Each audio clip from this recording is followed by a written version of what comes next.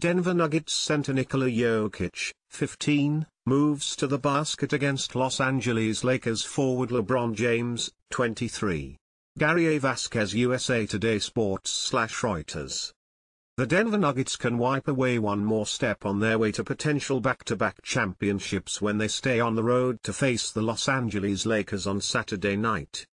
The Nuggets took a 3-0 lead in their best-of-seven Western Conference first-round series against the Lakers by rallying once again for a 112-105 victory Thursday. Denver trailed at halftime for the third consecutive game in the series and put its finishing kick on display again. Nikola Jokic had 24 points, 15 rebounds and 9 assists for the Nuggets, but this is far from a one-man show. Aaron Gordon scored 29 points with 15 rebounds of his own. Jamal Murray scored 22 points and Michael Porter Jr. added 20 points with 10 rebounds. Denver trailed 53 to 49 at halftime before grabbing a double-digit lead just over 7 minutes into the third quarter. The Nuggets led by as many as 15 points with 3.02 remaining and thwarted a late Lakers rally by making six free throws in the final 106. In Game 1, the Nuggets trailed by 3 points at halftime and won by 11.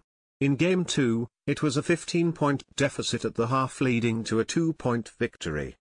Well, I guess there goes the pre-game speech about winning the first quarter and being up at halftime, Nuggets head coach Michael Malone said in jest. Let's continue to let them outplay us in the first half and settle into the game. The Nuggets continued their domination of the Lakers, winning their 11th consecutive game against their Western Conference rivals. Making that even more impressive is that a win Saturday would give Denver consecutive playoff sweeps over Los Angeles.